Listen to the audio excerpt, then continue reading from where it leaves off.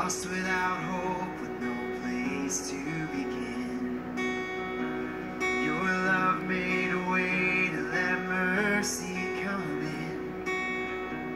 When death was arrested.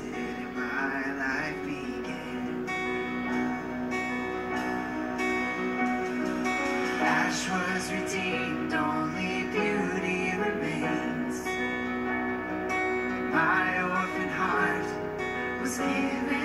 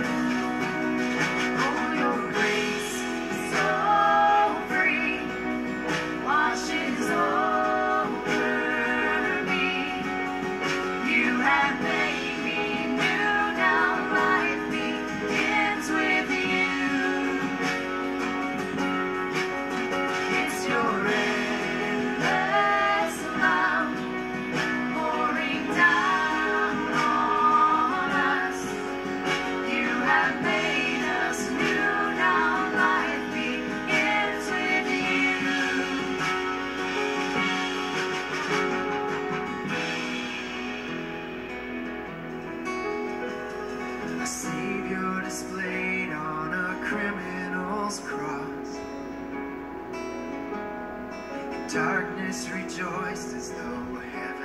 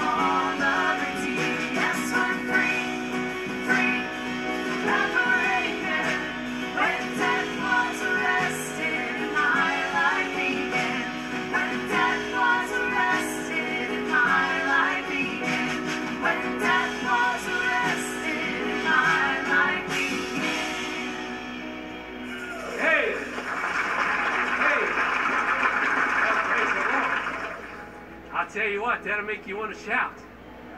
Let's praise the Lord again with another hand clap. Lord, we thank you that we are free, free forever. Amen. Let's pray. Lord, we just want to come into your presence today. Lord, bringing our praise and our rejoicing. Lord, you're so worthy. What a great God you are, our creator and our redeemer.